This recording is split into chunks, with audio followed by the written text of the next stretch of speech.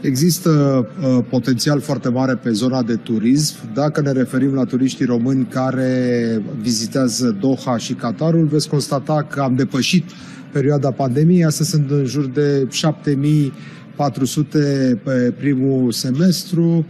Uh, au fost 19.000 anul trecut, în perioada pandemiei erau peste 16.000. Deci, din această perspectivă, este o dinamică. Pentru că am intrat în Schengenul aerian, Schengenul naval, sunt convins că va crește numărul de turiști catarezi în România, ceea ce avem nevoie pentru a crește acest turism. Avem nevoie de investiții, de hoteluri cu un anumit standard, șapte stele, da, un standard foarte ridicat uh, așa cum sunt obișnuiți cei din uh, zona Golfului să găsească.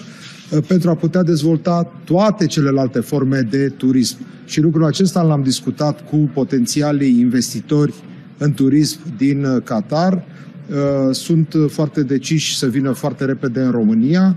Avem un termen de o lună de zile ferm pe care primul ministru l-a impus astăzi pentru această comisie mixtă să vină cu lista de proiecte. Domeniul este foarte variat.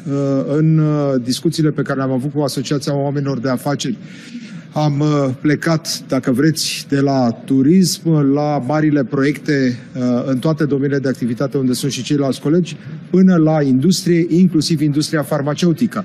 Uh, sunt interese de a dezvolta astfel de colaborări în toate aceste domenii de activitate.